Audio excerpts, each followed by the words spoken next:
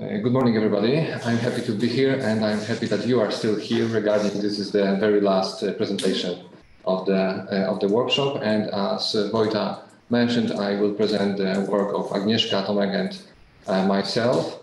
And uh, since we will talk about different issues already mentioned um, a lot of times during the workshop, including uh, ELTeC corpus from the very first presentations of so we will be able to build quite a nice frame for the whole uh, uh, workshop.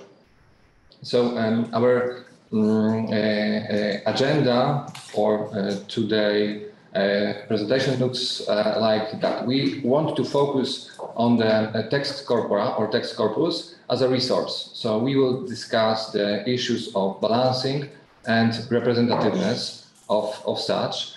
Then I will uh, show you our review of Polish literary corpora with metadata quality evaluation and describe the need for new uh, literary uh, corpora. And um, our response for that need is 1920 uh, uh, Meta PNC, which is uh, the corpus that we were working on. and I will show you all of the design considerations and stages of development uh, of the corpus. And after that, I want to invite you to um, uh, join us with uh, observing corpus in action. what questions, what research we can do with, with such, and next steps, which are future goals um, that we want to aim. So uh, just to start from the very beginning, the definition of, of a corpus is a collection of uh, machine-readable authentic uh, texts uh, which is sampled to be representative of a particular language or language variety. What is important for us is to think of verification of corpora in the matter of uh, finding and accessibility such and interoperability because we often face uh, corpora with different formats, with different quality, um, uh, presented as a PDF, uh, corpora PDF text, plain text, TEI text, so um, uh, we would like to see the uh, set of good practices in creating such. And the last part is, of course, re, reuse of such corpus, which is difficult be, because we observe that very often all um, of uh, literary corpora uh, has been made uh, have been made for one particular research, and it's very difficult to use them with different set of um, of questions, of, of uh, research questions. And of course, design principles which are representativeness and balance. The uh, representativeness is defined as the extent to which a sample includes the full range of variability in a population. So here we have two problems. First, we have to um, be aware of the population and all of the elements that are included in that population to represent um, uh, all, uh, all of them.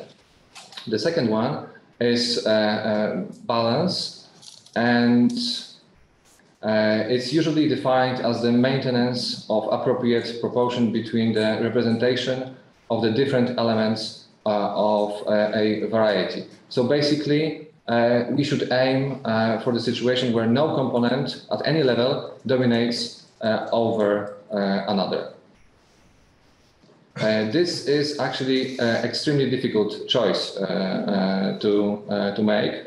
It could be difficult to define a target population and to determine the proportions across text categories. So very often we can aim such problems with historical corpora, where limited knowledge of the writing of a particular era is present, which makes the decision during corpora com compilation arbitrarily and the balance of the corpus is complicated by the disproportion between the number of texts from earlier eras and the texts uh, from later ones.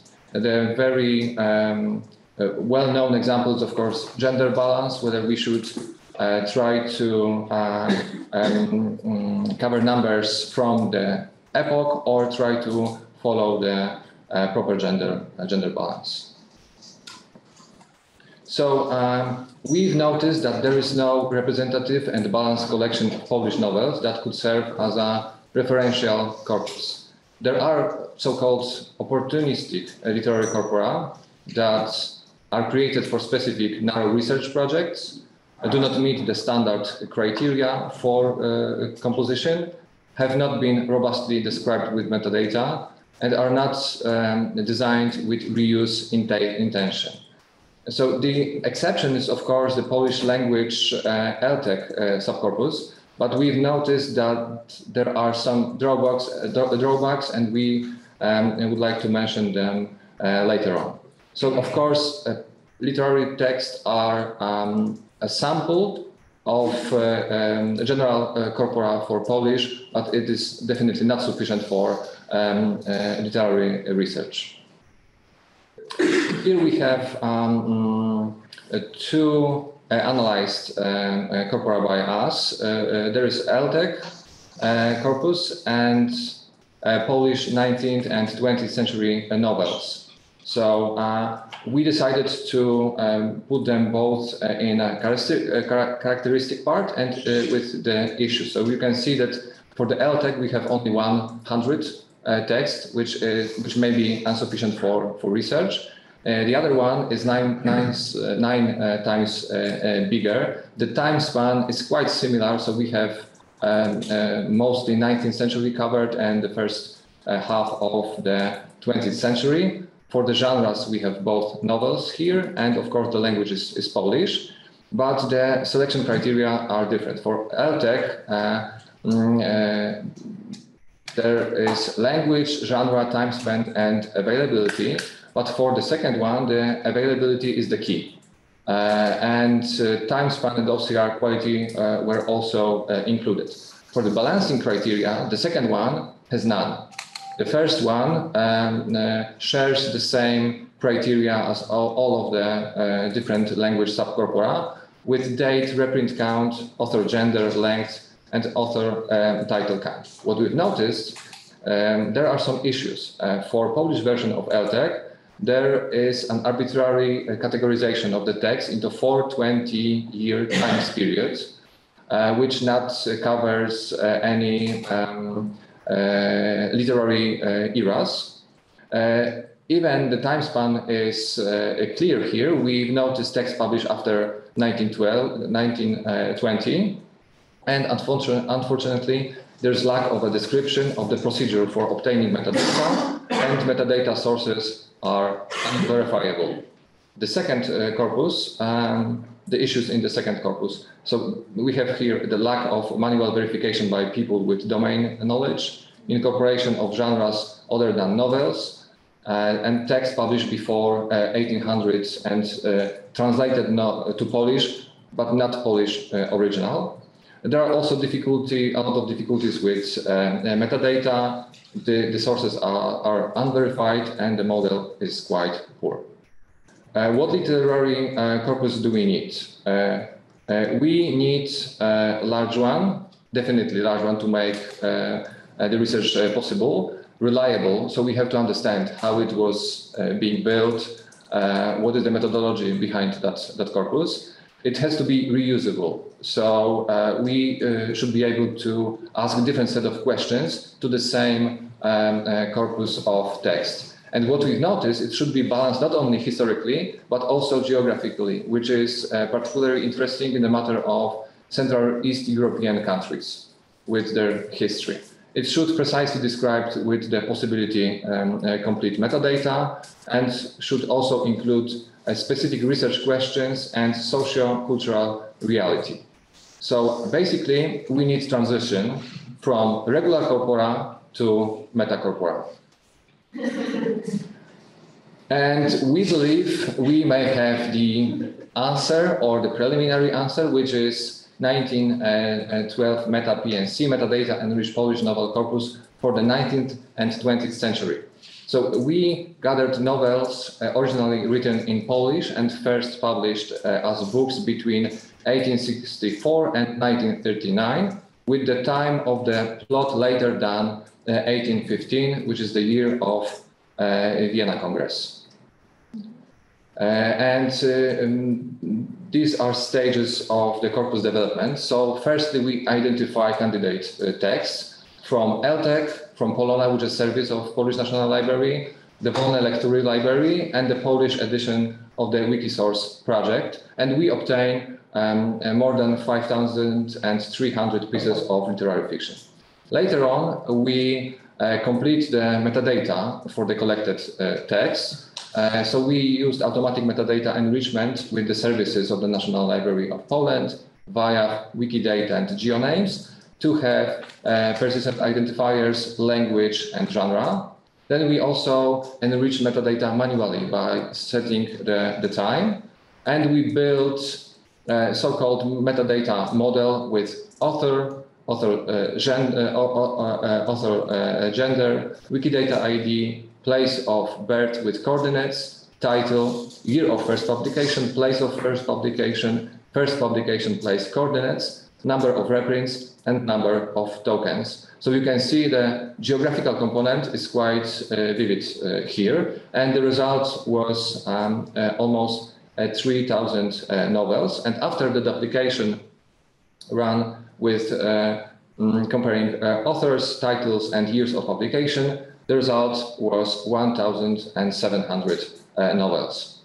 After that, we went to the balancing stage and we uh, balanced the corpus by date, and we used here three literary eras distinguished in Polish literary studies, determined by the date of first publication, and um, for uh, at least 20% for, for each. So we have positivism, uh, young Poland, and uh, interwar period. The second, uh, we balanced uh, corpus by um, gender, and the female authors are mm, at least covered with 10% of text, uh, and uh, at maximum with 50%. Um, uh, so uh, the place of publication was the third part, and this is actually very interesting in the case of Poland because um, uh, in the late 18th century, uh, the Polish was no longer on the maps because of the three partition of Austria, Prussia, and Russia, and we um, wanted to have the representation for each partition uh, in at least 50% uh, uh, um, for, for each.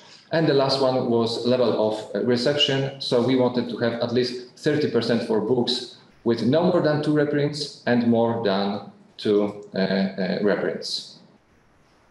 So this is the final result with 1,000 uh, of um, uh, books included uh, in the in the corpus where you have the partition, gender, and periods uh, presented here uh, for the balancing um, uh, reasons. And a bunch of statistics. So we have here author gender with uh, almost 30% uh, for uh, females and 70% for males. A literary period with 20% for positivism and young Poland and interwar periods around 40%. Partition, Prussian, Austrian, and Russian where Warsaw was lo located, and this is the biggest one. And we have also other were mixed uh, uh, places and places outside of the original Polish uh, uh border, uh, Polish borders. And the reception with high, almost 37%, uh, and low reception with 63%. The part when we want to test our corpus in action. So we prepared a paper uh, called Towards a Contextualized Spatial Diachronic History of Literature, mapping emotional representations of the city and the country in Polish fiction from uh, 1864 to 1939. And the city and the country explains all of the pictures included in the presentation. Uh, so if you would like to uh, follow uh, our research questions and, uh, and output, you can use that tiny URL slash uh, meta PNC to go um, to, the, to the text. And mm, this is a funny coincidence because in a couple of days, our colleague will present our results in the conference in Republic of, of Korea.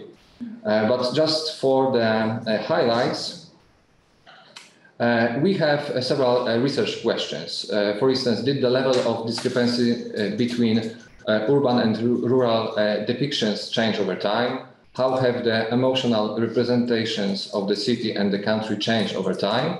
And finally, did the form of the urban-rural dichotomy and the valuation of geo-entities vary according to the partition in which the entity was located. So we were able to run some um, analysis on the on the corpus, and we've noticed the percentage of cities uh, mentioned in uh, successive years. So you can see there uh, uh through the time were more and and more.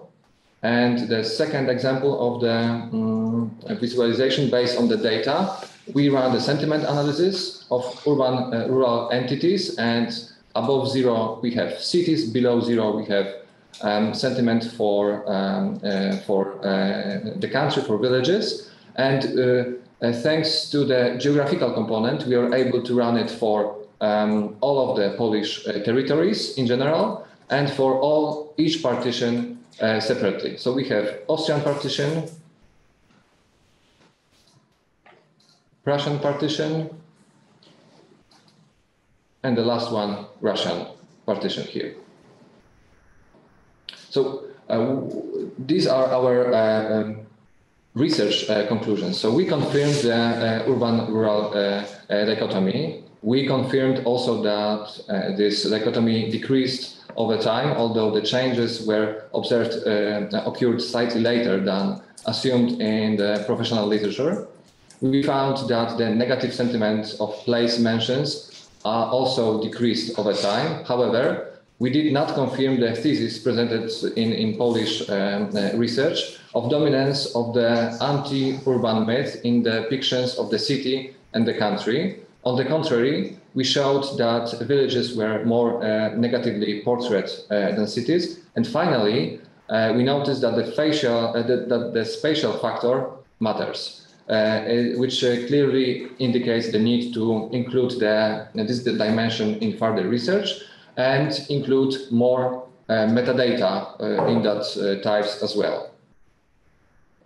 And here are the uh, next, uh, the, the, list of the next steps that we would like to follow. So we have to determine the population of novels from 1864 to 1939 um, and assess uh, the representativeness of the corpus based on the query on the Polish National Library catalog. Uh, we have to uh, include more uh, novels, for instance, these with time plot earlier than 1815. Uh, we would like to improve quality of text by uh, digitization and OCR correction and balance the corpus by length of text. And of course, we want to enrich metadata uh, model and verify um, our metadata using linked open data. And finally, I would like to make the corpus available in TEI uh, format. Thank you very much for your attention.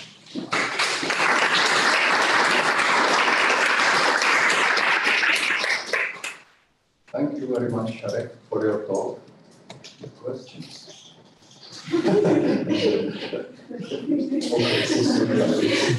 well, thank you so much. This is very interesting, and uh, I was wondering which um, which algorithms you use for sentiment and analysis, and uh, if you tested it against you know like human human taggers. And uh, also because I, I'm very suspicious always about sentiments and uh, Me too. and yeah, that, that, that would be yeah. So uh, if you would like to follow the, the research uh, in details, uh, I would suggest the, the, the paper because uh, a whole of people was uh, uh, included in the, in the process. I was uh, responsible for the research uh, uh, questions and the metadata enrichment. but unfortunately, we didn't have time and possibilities to look in all of the named entity recognition tagging results. But what we've noticed uh, it was um, the results were richer than we expected. So we have wrongly um, assigned labels or, or uh, phrases to label uh, mm, uh place, but uh, this is the reason why we included the second step, uh, which is working with GeoNames API with fuzzy algorithms. So we were able to run all of the names through the query in API to find out whether we have the real city there or, or not. And the sentiment analysis, I don't know what we used for that. MultiEmo tool. MultiEmo. It's a tool from, uh, yeah, uh, presented uh, by Polish uh, Clarin. You will be able to find that tool on their website. It's multi, MultiEmo. Hi, thank you, making work. Um, I have one question, one short question and one long remark. Uh, short question, what format? You say that you want to publish it in TEI, so what is the current format? For The cur- such- for so many metadata. You know, the current format is mixed because we have uh, text, plain text uh, in TXT. Uh, Uh, Convo, actually. it's yeah, it's conv format, and we have the connection made uh, for ourselves with uh, metadata for each for each document. So now it's quite uh, dispersed, but we want to put in a in a better in a more representative format. Yeah.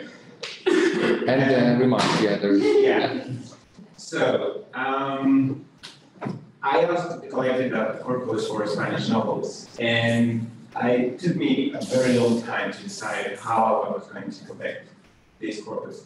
And um, one of the things I realized for my case is that, you know, we have inherited many things from corpus linguistics. And one of the things we have inherited is the way they collect corpora.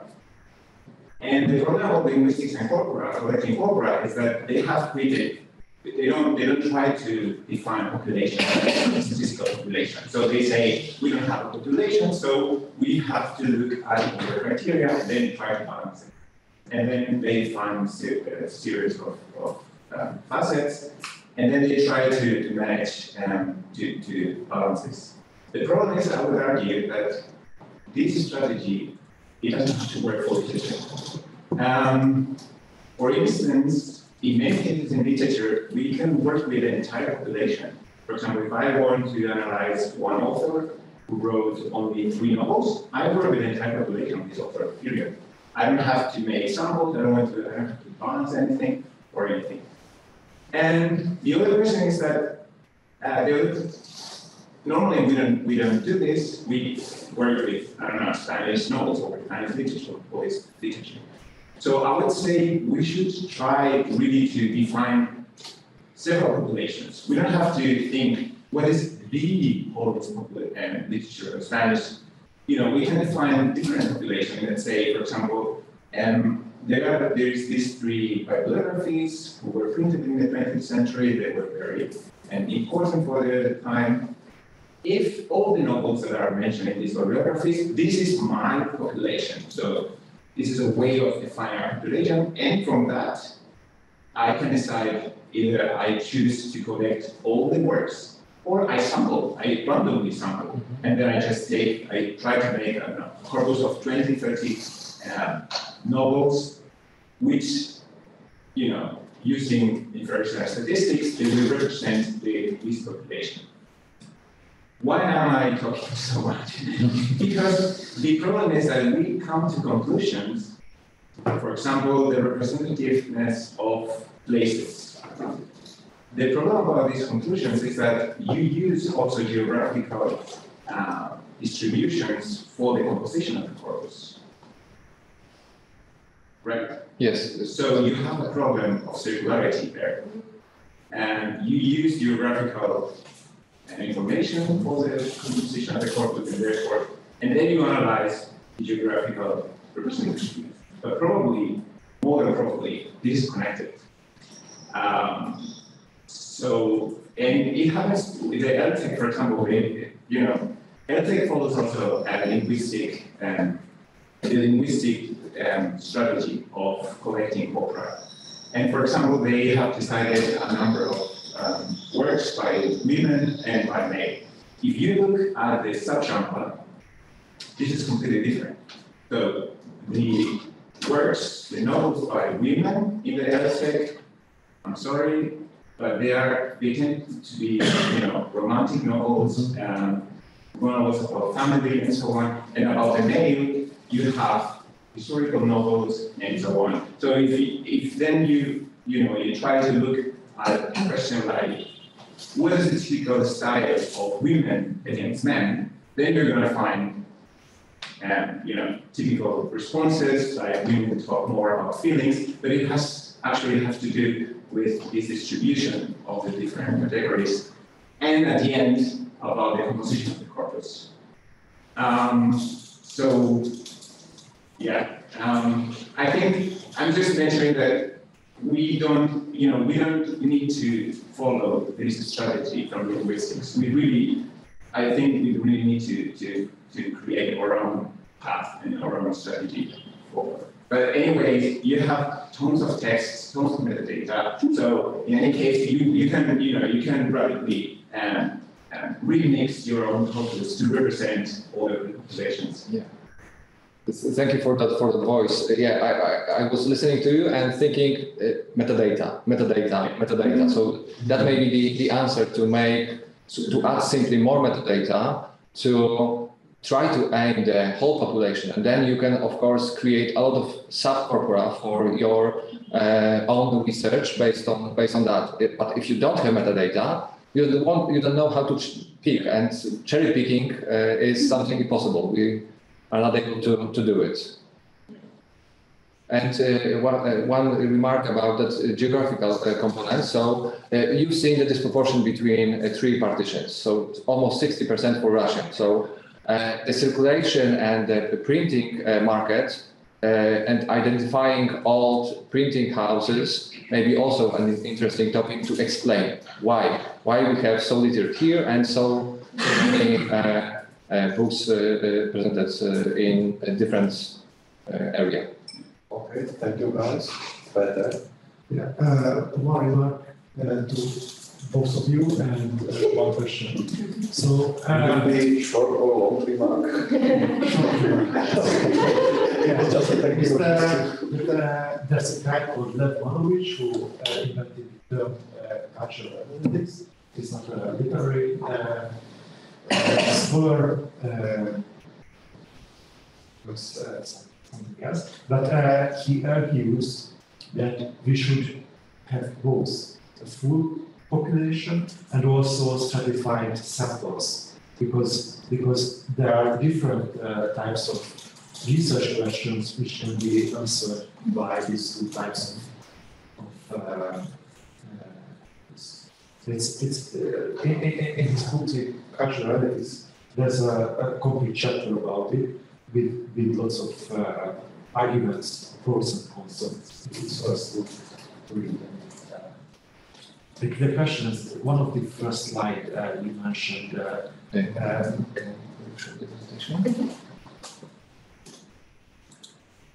you, you mentioned uh, metadata quality. So my question is that, that uh, what, what was your criteria against and, how did you measure?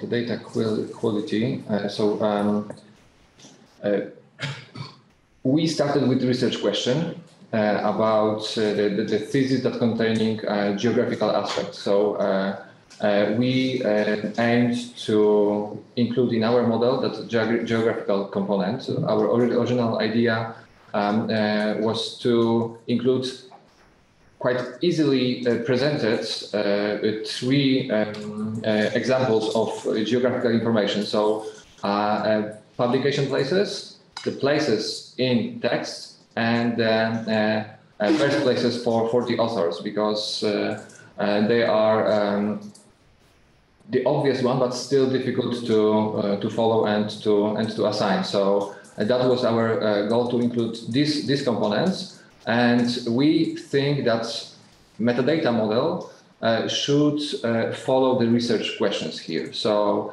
it's rather difficult to get the goal of the of the model uh, at the very end of the of the of the path, but we we think that uh, that so-called rolling stone may be the uh, the answer how to make corpora reusable. So you have research questions, you add some metadata regarding these uh, research questions and uh, propose it to the to the research uh, uh, community. And if someone else would like to choose your corpus to work it further on, it can you know other metadata can be can be uh, added. So it's rather difficult to to say what is the what is the, what is the endpoint here. Very good one. If I understand correctly, there is no named entity annotations, uh, kind of manual, uh, verified on the corpus yet, right? Uh, no, it's not verified. Uh, it's not verified, um, unfortunately, but we, no, Are you, are you yes, yes, we, we, we plan to uh, increase the, the, the quality. I think that that would be fantastic. The, we did a small survey of uh, historical corpora for NER in UK. I don't think Polish is in there uh, as a language, so it would be, you will feel like that, you know, so Okay, Thank you. it would be. Thank you, Matteo. Any other question? And the last presentation, you have to, you have a chance to compete for the you know, annual report of Swedish National Library. And now you have an extraordinary occasion to pose the last question of the whole workshop. Please think about it. No pressure. Okay, so Matteo is the winner. Okay, so if there is no other question as well here uh, in the room as well in the chat, I would thank you all for your presentation.